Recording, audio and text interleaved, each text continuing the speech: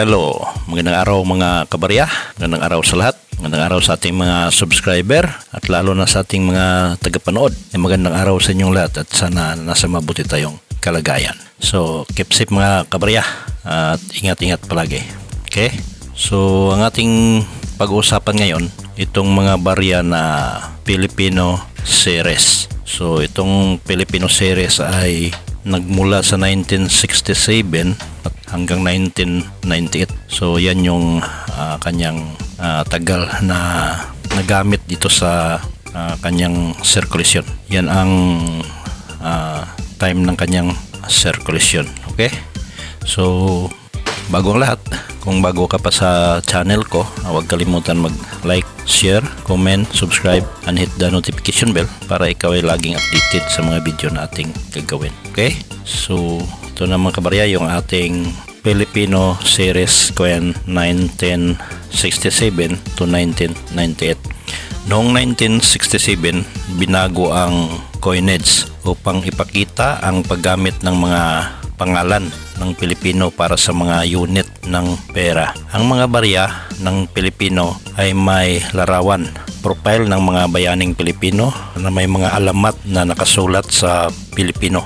Ang pambansang wika, ang mga bagong 1 piso coins ay inilagay sa sirkulasyon upang palitan ang 1 piso notes. Ang mga barya ay na-demonetize pagkatapos ng Enero to 1998. So, yan yung tagal ng Filipino series sa sirkulasyon mula 1967 hanggang 1998. Okay, so ito yung ating mga Filipino series na barya mga kabarya. Ang una dito ay yung uh, 1 piso Jose Rizal. So ito yun no, yung 1 piso big Jose Rizal. Kung matandaan yung mga kabarya, uh, itong ating uh, barya na 1 piso ay dati ay mayroong pisong papel.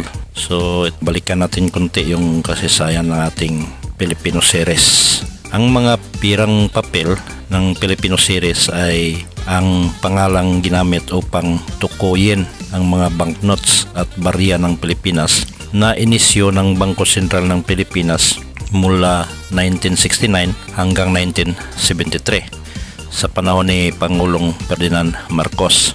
Ito ay pinalitan ng ang bagong lipunan uh, serye ng mga pirang papel kung saan ito ay may katulad na disenyo. Ang pinakamababang denomination ng serye ay 1 piso at ang pinakamataas ay 100 piso. Kinakatawan ng uh, seryeng ito ang isang radikal na pagbabago mula sa seryeng English. Ang mga panukalang batas ay sumailalim sa Pilipinasyon at isang pagbabago sa disenyo.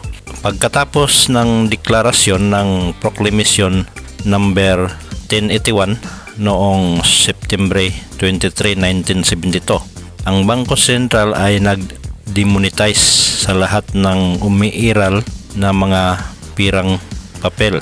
Kapwa ang English at Filipino series noong Marso 1, 1974 alinsunod sa Presidential Decree number 378 ang lahat ng hindi na ibigay na banknote ay ibinalik sa planta ng Dilaro sa London para sa labis na pagprint sa lugar ng watermark na may mga salitang ang bagong lipunan at isang hugis itlog na geometric na disenyo ng kaligtasan. So yun mga kabarya, yung uh, mga pirang papel sa kapanahonan ni Ferdinand Marcos. Yun ay ang mga uh, pirang bagong lipunan nagmula sa 1 piso hanggang 100 piso. So yan yung kunting kasaysayan natin dito sa ating mga Filipino series. Okay? So ngayon, ang mga Filipino series na barya yung ating pinag-usapan. Isa na doon yung uh, 1 piso na big Jose Rizal. So yun nga no, ang 1 piso din meron din tayong 50 sentimo at saka ah, 25 sentimo then 10 sentimo at saka 5 sentimo yung Melchor Aquino. At 1 sentimo na si Lapu-Lapu so yan yung mga Filipino series na mga barya. So ang ating 1 piso ito yung kanyang detalye. 1 piso na Big Jose Rizal.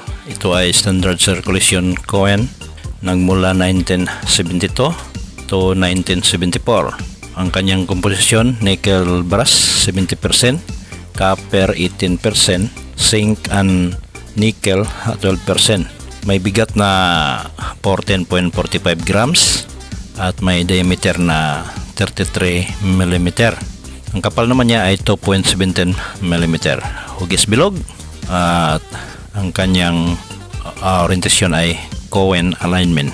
So ito ay demonetize na noong 30 ng Abril 1980 ito ay reference scheme number 203 ang kanyang harapan the arm of the Philippine with the date at the bottom.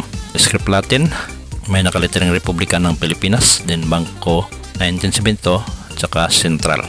So ang reverse head of Rizal facing left a Latin script may nakaliterang na piso then yung pangalan ni Rizal.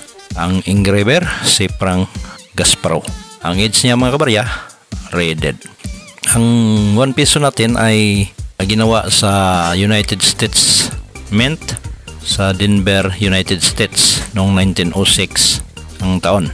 Meron ding United States Men, San Francisco, United States 1854. Ito no, uh, for the circulation, coins dated 1974, ang kanyang mintage ay uh, 9,127,000 uh, were minted in Denver in 1974.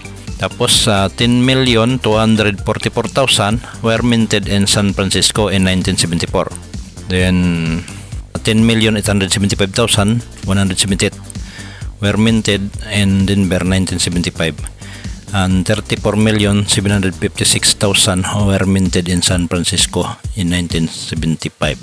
So yun mga kabaryano, ha, daming ginawa ng mga uh, 1 piso sa iba't ibang lugar sa United States of America.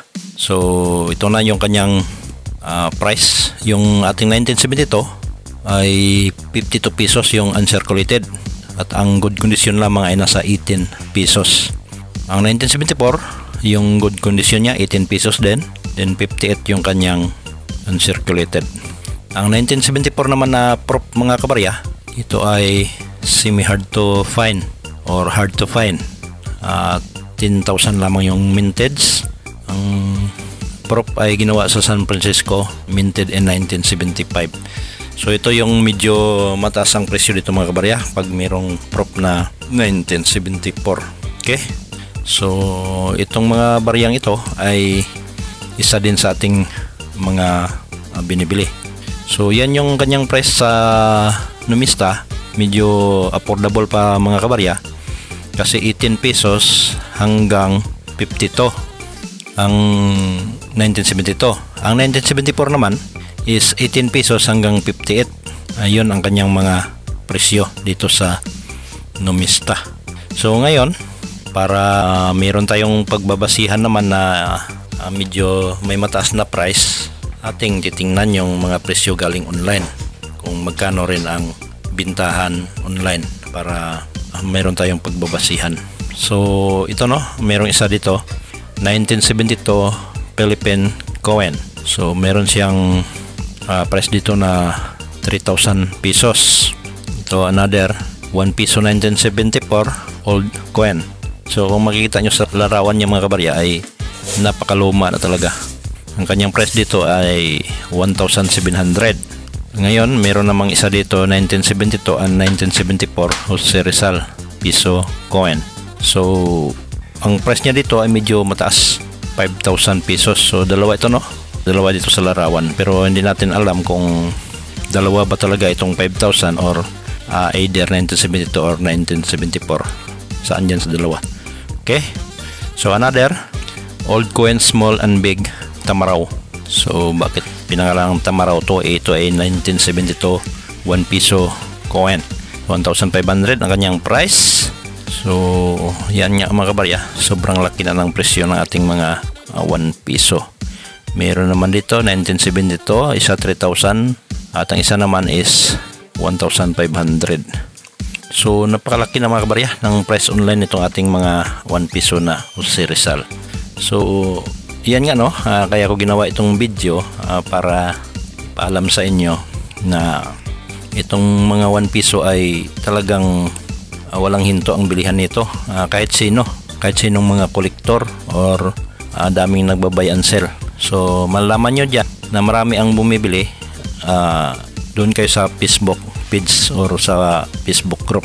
Hanapin nyo doon yung mga buyer napakarami. So ako ay isa din sa mga bumibili nito ngunit ay sa dami ko ng ganito so medyo yung binibili ko sa ngayon ay yung mga hard to find. So tulad ng 1974 na uh, prop. So, so kahit saan yan sa mga Filipino series ay binibili ko. Uh, basta nasa uncirculated yung kanyang kondisyon mga kabarya. So yung mga luma ko kasi dati ay napakarami. Rami kong nabili.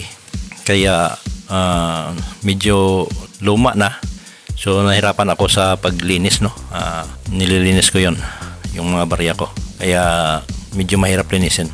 Kaya ngayon, ang bibilin ko yung mga uncirculated or almost uncirculated saka yung mga hard to find. So kahit saan dyan, Filipino series, uh, bagong lipunan, uh, yun, sama na yun sa Filipino series hanggang uh, Flora Anpona, BSP, saka NGC. So kailangan bago uh, para hindi na tayo mahirapan sa paglinis. Okay? So uh, yan lang muna mga kabarya ang maibigay ko sa inyo at uh, sana wag niyong kalimutan yung ating OMG TV channel palagi niyong suportahan at yung hindi pa nakapag-subscribe ay pwede kayong mag-subscribe para lagi kayong uh, makasunod sa lahat ng video nating bagong upload okay so maraming salamat sa inyong panood at uh, magandang araw sa lahat and God bless